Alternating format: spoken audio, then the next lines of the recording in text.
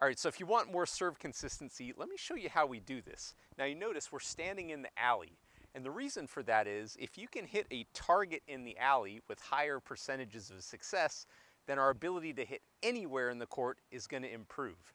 The first thing we want to do is actually start throwing the ball. And the reason we're going to throw the ball, obviously, is because the service motion is really just a throw. Now the way you want to do this is you want to line up your feet so that your toes are pointed towards your target. Okay, and this is going to again allow us to hit any target anywhere on the court as we master this. Okay, the next thing we do is visualize in a uh, box above the net, let's say about 12 feet in the air, that the ball is going to pass through on the way to the ultimate target. Okay, so there we go, and we'll just start dropping them in the bucket.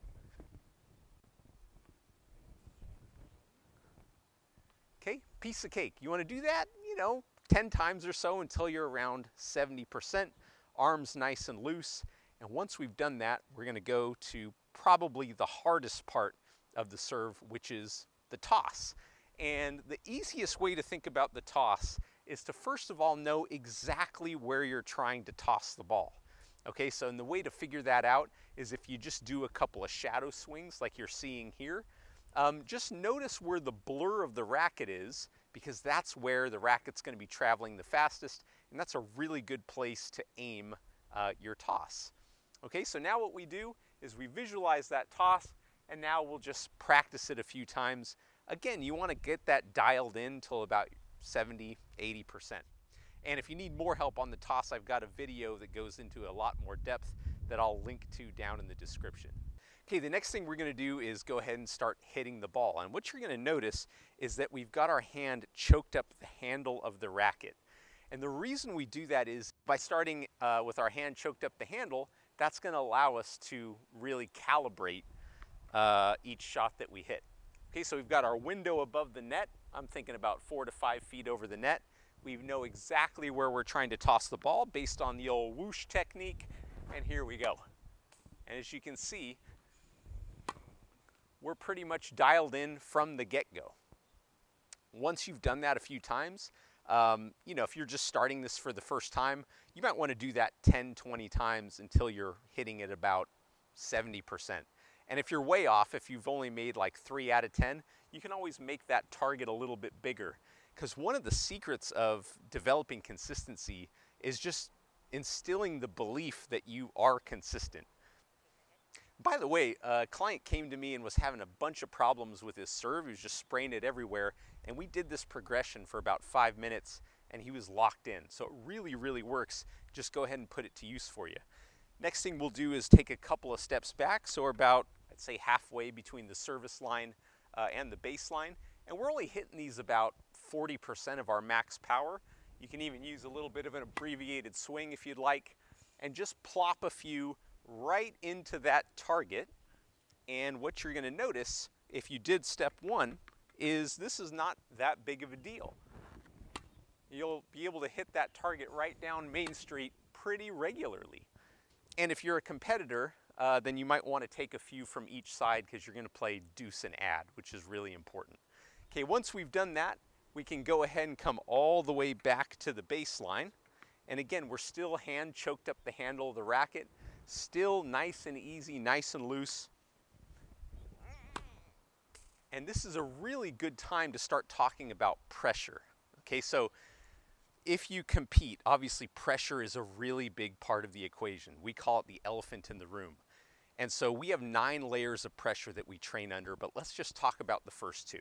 The first one is actually having a target because the target's binary. You're either hitting it or you're not.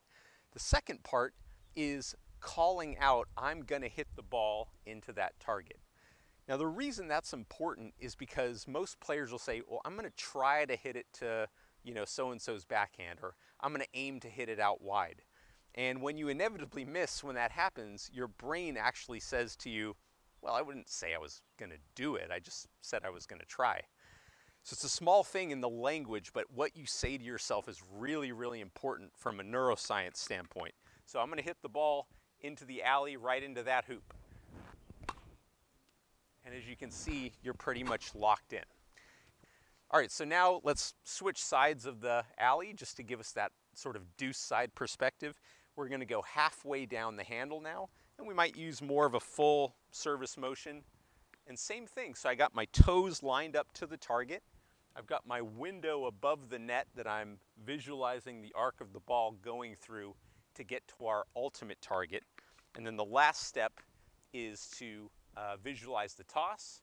Here we go. And now we're right down Main Street again.